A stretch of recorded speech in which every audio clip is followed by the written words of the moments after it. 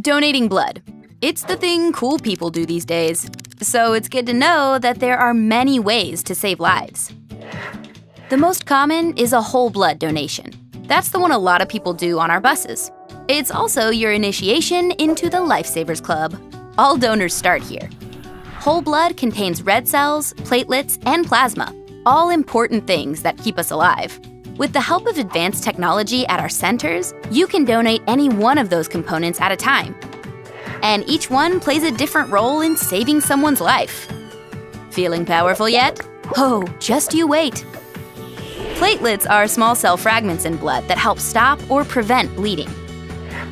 Platelet donations are used to help cancer patients, organ transplants, burn victims, and patients who are suffering from bleeding disorders. The liquid portion of your blood is called plasma. Plasma helps your body stay healthy.